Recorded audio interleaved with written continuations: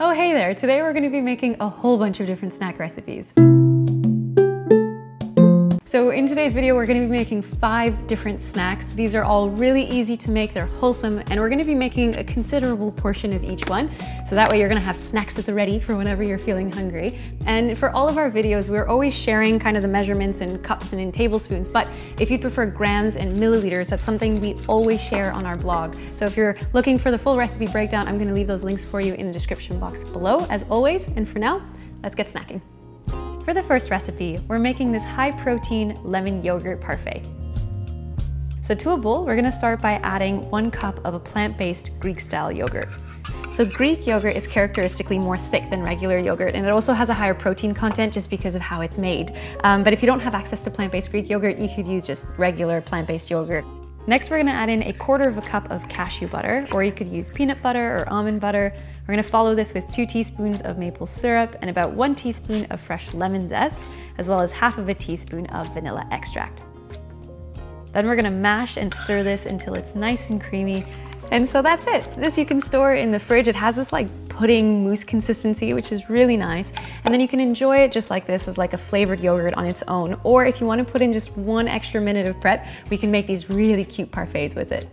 So you can use some granola for this or a single crushed biscuit like I'll be doing here, which we're gonna layer into a cup or bowl or jar with a couple of spoonfuls of our prepped flavored yogurt. Then we can top it with some fresh fruit. You could always add a little bit more lemon zest if you'd like. And then that's it. You've got this super delicious and wholesome snack that looks like dessert. And the lemon zest is what elevates it and makes it really special and refreshing.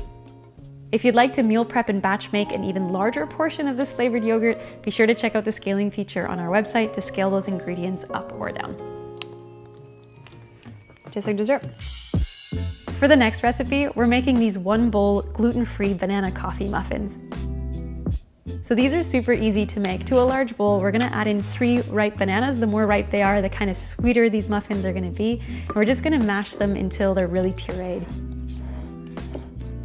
Next, we're gonna add in three quarters of a cup of plant-based milk and one tablespoon of melted coconut oil, or you could use like an unflavored vegetable oil. And then we're gonna mix this until it's super well combined.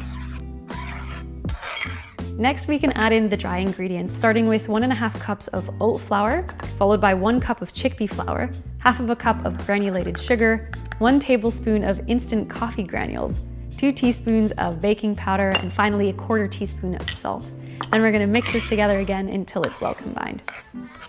So for the oat flour that we used, we just bought ours from the grocery store. If you wanted to make it yourself at home, you can. It's really simple. You just take regular old-fashioned rolled oats and you add it to a food processor, you blitz it up, and when you've got this like flour-like consistency, you're already done. And then for the chickpea flour that we used, we did it because we wanted to make these muffins gluten-free. We've been getting a lot of requests for that. Uh, and it's also a little bit more high in protein than regular flour. But if you wanted to sub it out for regular all-purpose flour, that should work too. When ready, we can spoon this mixture into the pre-greased wells of a muffin tin, filling each well about three quarters full.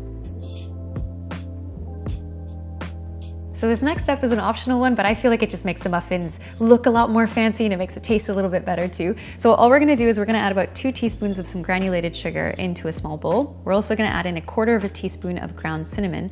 And then once we've given it a mix, we're just gonna sprinkle it over top of each muffin. And then what I also like to do is just to put one whole raw pecan onto the center of each muffin, um, but you could always use like some chopped up chocolate here if you prefer or any other nut that you like. And then when ready, we can bake this in the center rack of a preheated oven at 400 Fahrenheit or 200 Celsius for about 16 to 18 minutes or until a toothpick inserted into the center comes out clean. These muffins are delicious to snack on with some tea or coffee or of course just even on their own. And you could even enjoy a couple of them together with some plant-based yogurt to make a complete breakfast. They kind of taste like banana bread, but in this cute little muffin form and with a mild coffee flavor. For the next recipe, we're making this incredibly delicious green pesto. So to a small pan on medium-high heat, we're gonna add half of a cup of raw walnuts and half of a cup of raw pine nuts. And we're gonna toast this while stirring throughout for about five minutes or until they become lightly golden. If you want to speed this recipe up, you can always add some pre-roasted nuts instead, but I like to roast them fresh or toast them fresh uh, because it just makes the pesto a lot more fragrant and flavorful in my opinion. So once they're done, we're gonna transfer this all to a food processor, and we're also gonna add to it one super packed cup of fresh basil leaves, one cup of packed arugula, a third of a cup of nutritional yeast, a quarter of a cup each of olive oil and water. We're also gonna add in two cloves of garlic. We'll add in the juice from one full lemon, a quarter of a teaspoon of salt, and finally, some ground black pepper.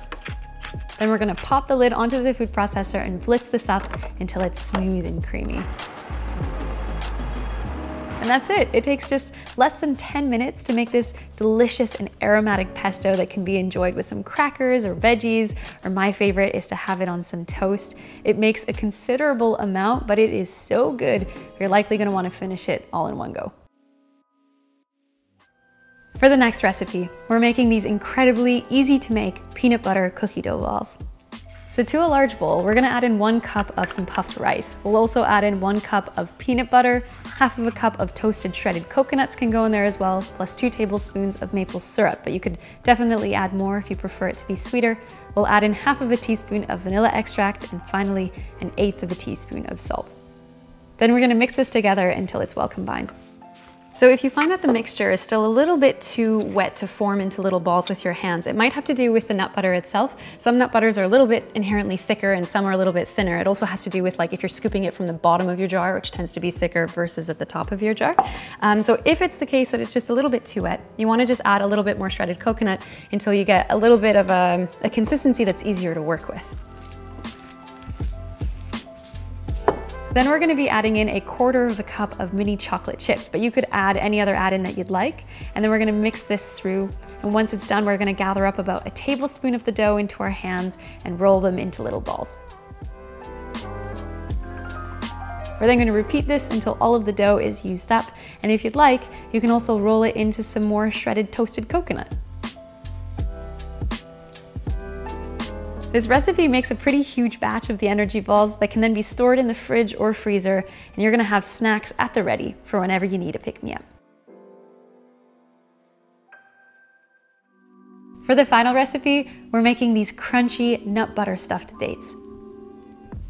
So all we wanna do for this is to slice some medjool dates down the center and extract the seeds.